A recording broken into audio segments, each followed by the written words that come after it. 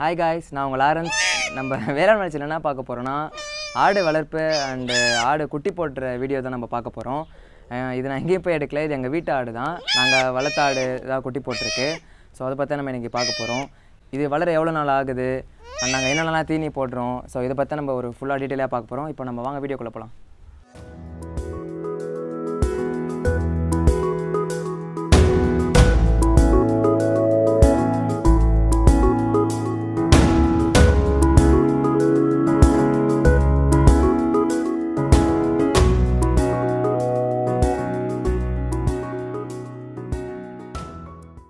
Guys பார்த்தீங்கன்னா இந்த ஆட்லேருந்து தான் நாங்கள் வந்து ஸ்டார்ட் பண்ணோம். ரெண்டு ஆடு வாங்கினோம். கெடா ஒன்று பொட்டை ஒன்று வாங்கினோம் ஃபஸ்ட்டு ஒரு ஒரு ரெண்டு மாதம் குட்டியாக தான் நாங்கள் வாங்கினோம். இப்போ பார்த்தீங்கன்னா வாங்கி கரெக்டாக ஒரு பதினாலு மாதம் ஆகுது. பதினாலு மாதத்தில் ஒரு ஆடு வளர்ந்து குட்டி போடுது. நைட் டைம் குட்டி போட்டுச்சு. ஒரு டுவெல் ஓ கிளாக் அந்த மாதிரி இருக்கும். நாங்கள் தூங்கிட்டு தான் இருந்தோம். அதை கத்தத்தை கேட்டு தான் நாங்கள் வந்து பார்த்து குட்டி நாங்களே வந்து குட்டி எடுத்தோம். நீங்கள் ஒரு குட்டி ஒரு ஆடு வந்து சனியாக இருக்குன்னா நம்ம கண்டிப்பாக அதை பார்த்துட்டே இருக்கணும் டெய்லியும். அது எப்போ குட்டி போடும் என்ன நம்மளுக்கு தெரியவே தெரியாது. திடீர்னு அது நைட்டும் போடலாம் இல்லை நம்ம பகலில் நம்ம எங்கன்னா வெளில போயிருக்கப்பையும் போடலாம். ஸோ வந்து ஒருத்தர் அதை பார்த்துட்டே இருந்தால் கொஞ்சம் நல்லாயிருக்கும் ஸோ நாங்கள் சரி இருந்தோம் நைட்டு ஸோ அதனால் நாங்கள் பார்த்து நாங்கள் கரெக்டாக குட்டியை நாங்கள் இது பண்ணிட்டோம். எங்களுக்கு ரெண்டு ஆடு குட்டி. இந்த ஆடு பார்த்திங்கன்னா ரெண்டு குட்டி போடும். ஏன்னா இது தாயும் பார்த்திங்கன்னா ரெண்டு குட்டி தான் போட்டுச்சு. அதேமாதிரி ஆடு நிறைய வெரைட்டிஸ் இருக்குது ஒரு நாலு குட்டி போடுற ஆடு இருக்குது ரெண்டு குட்டி போடுற ஆடு இருக்குது என்னென்னா இதுக்கு தீனி மெயினாக கொடுக்கணும்னு பார்த்தீங்கன்னா சவுடாலி சொல்லுவாங்க. இந்த இலை தான் சவுடாலி சொல்லுவாங்க. சவுடாலி நாங்கள் மெயினாக கொடுப்போம். அதுக்கப்புறம் பாதாம் இலை அதுக்கப்புறம் பூச மரம் வாழை மரம் இலை இந்த மாதிரி மெயினான இலைகள்லாம் கொடுத்தோன்னா கொஞ்சம் நல்லாயிருக்கும் அப்புறம் நம்ம தண்ணி பார்த்தீங்கன்னா வெறும் தண்ணிலாம் வச்சா பார்த்தாது கஞ்சி தண்ணி மெயினாக வைக்கணும். கஞ்சி தண்ணி தான் அது கொஞ்சம் லைக் பண்ணி குடிக்கும் முடிஞ்சால் புண்ணாக்கு இது போல் கொஞ்சம் நீங்கள் அடர் தீவனமாக கொஞ்சம் வாங்கி வச்சிங்கன்னா இன்னும் கொஞ்சம் நல்லாயிருக்கும் ஏன்னா ஆட்டுக்கு கொஞ்சம் நம்ம எவ்வளோ நம்ம நம்ம பசந்த கொடுக்குறோமோ அந்த அளவுக்கு நம்ம அடர் தீவனம் கொடுத்தா நல்லாயிருக்கும் ஆனால் கொஞ்சம் புண்ணாக்கெலாம் நாங்கள் வாங்கி தண்ணியில் கலந்து வைப்போம் ஊற வச்சு.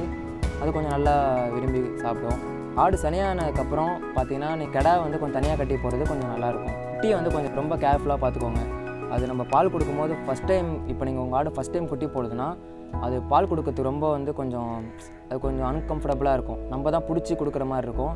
குட்டிங்களுக்கும் தெரியாது. எங்கே மடி இருக்குது நம்ம கரெக்டாக பால் குடிக்கிறதுக்கு தெரியாது. நம்ம பிடிச்சி தான் வந்து அது பால் கொடுக்குற மாதிரி இருக்கும். ஸோ அது கொஞ்சம் நீங்கள் கொஞ்சம் பார்த்துக்கணும் நெக்ஸ்ட்டு வந்து இப்போ சில ஆடு மூணு குட்டி போடுது. ஆனால் மடியே பார்த்தீங்கன்னா ரெண்டு காம் தான் இருக்கும். ஸோ அதுக்கு என்ன பண்ணுறதுன்னு பார்த்தீங்கன்னா நம்ம தனியாக வந்து புட்டிப்பால் புட்டி பால் நம்ம கொடுத்தாகணும். அது வந்து ஒரே ஆடுக்கு மட்டும் புட்டிப்பால் கொடுக்கக்கூடாது.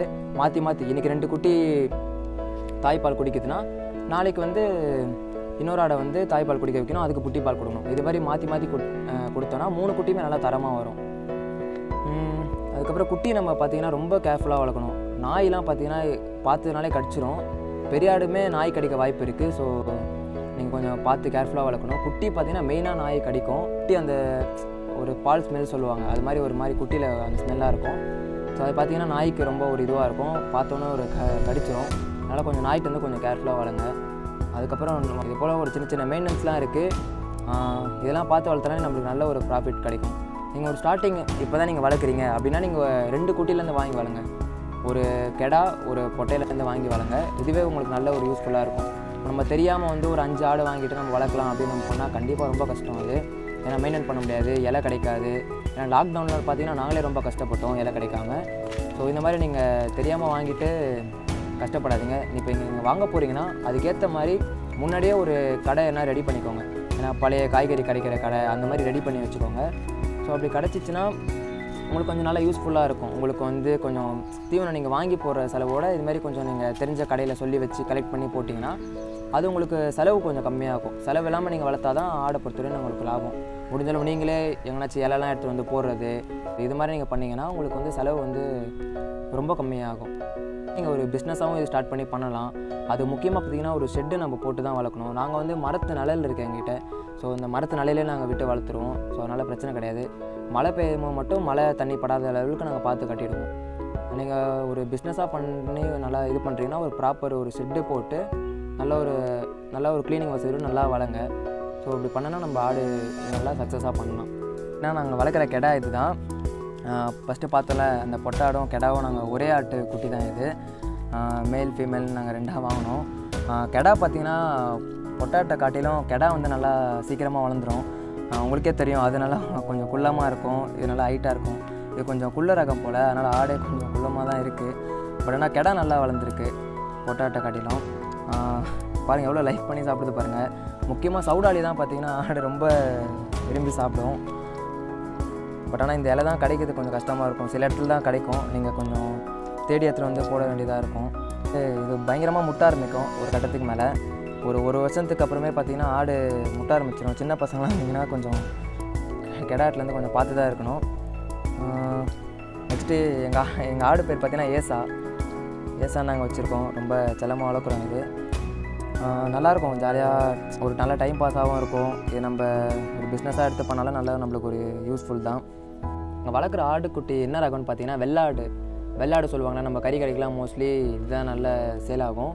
ஸோ வெள்ளாட்டு ரகத்தை நாங்கள் வளர்க்குறோம். ஆடுலேயே பார்த்தீங்கன்னா நிறைய ரகங்கள் இருக்குது செம்பரி ஆடு மணி ஆடு வெள்ளாடுன்ட்டு. இதில் பார்த்தீங்கன்னா நாங்கள் வளர்க்குறது பார்த்தீங்கன்னா வெள்ளாடு தான் நாங்கள் வளர்க்குறோம்.